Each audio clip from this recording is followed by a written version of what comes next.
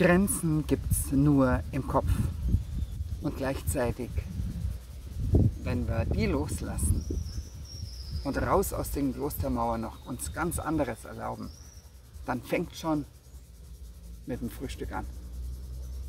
Nüsse über Nacht eingeweicht und grünen Smoothie aus Gurke, ähm, Supergreens, Shake und natürlich Wasser.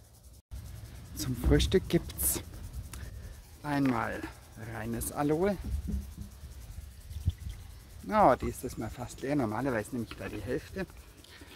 Und dann mische ich unterschiedlich. Heute mal mit Peaches. Also Pfirsich mit drin. Tja. Prost. Und einfach den Tag genießen.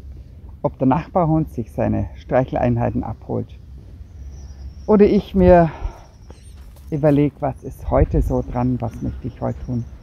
Mich vielleicht treffen in der Buddha Lounge mit Freunden, Termine ausmachen.